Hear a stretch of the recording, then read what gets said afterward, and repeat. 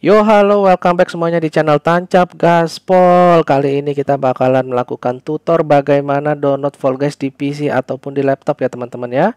Caranya gampang ya teman-teman ya. Tinggal diikutin aja langkah-langkah seperti ini ya teman-teman. Oke kita masuk ke browser kita nih teman-teman. Habis itu kita ketik aja ya epicgames.com Oke kita sudah masuk ke halaman Epic Games-nya ya teman-teman ya. Kita uh, sebelum download Fall Guys-nya teman-teman, kita harus sign in dulu nih teman-teman. Oke, kita sign in dulu. Ada banyak pilihan ya. Ada lewat IP Game sendiri, bikin account sendiri, atau lewat Facebook, atau lewat Google, atau Xbox, PS, dan lain-lain ya. Nah, yang kita pilih saat ini adalah Google ya. Oke, yang saat ini kita pilih adalah Google ya. Karena kalau pakai Google sangat mudah nih teman-teman nih ya. Nih, eh, saya kasih contohnya teman-teman ya.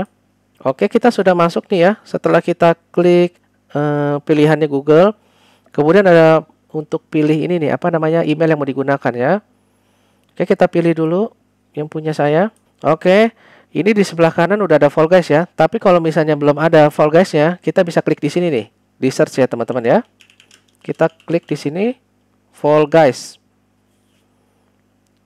Oke, kemudian muncul nih ya Fall Guys ya. Kita klik Fall Guys-nya.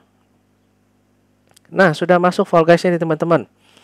Karena saya di sini sudah download Fall Guys nih. Jadi tulisannya in library ya.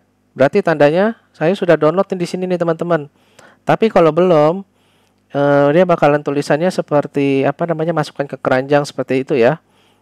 Oke, kita anggap saja kita sudah ini ya. Nanti teman-teman tinggal pilih aja masukkan ke keranjang di sini atau enggak langsung check out di sini ya. Tenang saja, ini gamenya gratis ya, nggak berbayar. Jadi kalian bisa mendapatkan game ini tanpa harus mengeluarkan uang spesial pun teman-teman ya. Kita anggap sudah selesai ya prosesnya ya. Kemudian Langkah selanjutnya adalah kita download aplikasi Epic Games-nya ini. Aplikasi Epic Games-nya ini sama dengan uh, aplikasi Steam ya teman-teman ya. Kita coba langsung saja di sebelah kanan atas ini kita download. Oke, setelah download kita tunggu nih ya. Kita tunggu sampai downloadannya selesai nih teman-teman ya. Jika sudah selesai kita buka uh, apa namanya? installernya ya, installer dari aplikasi Epic Games-nya ya teman-teman ya.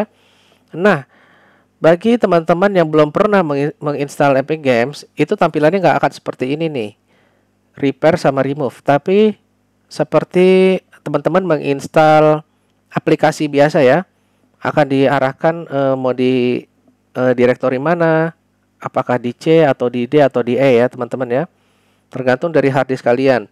Tapi kalau misalnya sudah pernah download Epic Games, aplikasi Epic Games, dan pernah memainkan salah satu game di Epic Games ya, pasti akan muncul seperti ini nih teman-teman nih ya.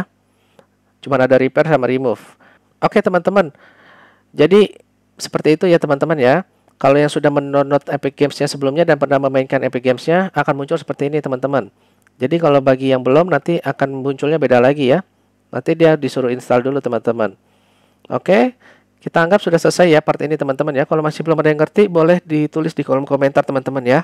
Oke, sudah selesai step ini teman-teman. Sekarang kita buka aplikasi Epic Games ya teman-teman ya. Kita coba buka aplikasi Epic Games ya teman-teman ya. Nah, ini kita lagi membuka aplikasi Epic Games ya nih teman-teman ya. Ditunggu sebentar ya.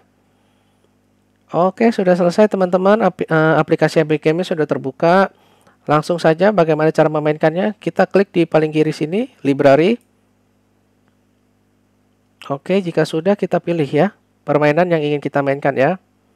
Nah, ini dia nih Fall Guys-nya nih teman-teman ya. Kita tinggal klik aja dua kali di sini nih teman-teman, di Fall Guys-nya teman-teman. Oke, dia lagi loading teman-teman. Nah, sudah masuk nih ke Fall Guys-nya teman-teman ya. Nah, sudah masuk nih teman-teman ke dalam Fall Guys-nya teman-teman. Oke, sip, kita sudah masuk ke dalam Fall Guys-nya teman-teman ya. Jadi caranya cuman seperti itu teman-teman, nggak sulit dan nggak repot ya teman-teman ya. Oke, sampai jumpa lagi teman-teman di video tutor berikutnya ya. Ini kalau misalnya masih ada pertanyaan lainnya, eh, bagaimana cara download Fall Guys atau enggak ada er-, error ketika mengalam eh, ketika mendownload Fall Guys, bisa tuliskan di kolom komentar. Nanti akan saya balas ya teman-teman ya. Oke, terima kasih semuanya teman-teman. Sampai jumpa lagi. Bye bye.